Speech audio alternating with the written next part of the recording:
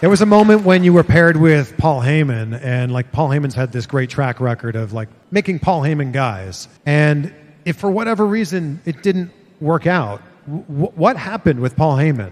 Brock Lesnar came back. and, and, Paul Heyman went back to Brock Lesnar. And, and so. Paul